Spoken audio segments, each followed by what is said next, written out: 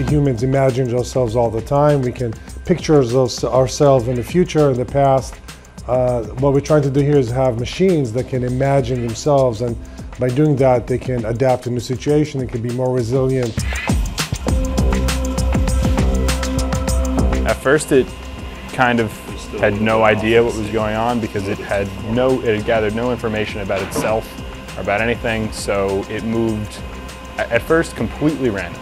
After it's collected a sufficient amount of information and we've trained it for a sufficient, a sufficient amount of time, it was able to create a model of itself from the information that it's gathered, from all its random motion, from all its babbling.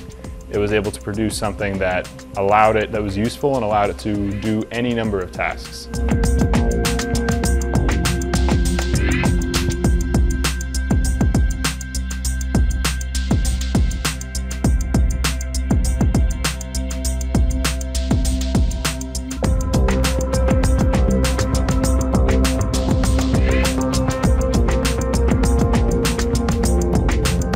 And self-awareness, I would say, is that is the holy grail, it's the pinnacle of, of what we consider uh, autonomy. So in many ways, it's, it's something that we're all striving for in, in, in robotics and AI.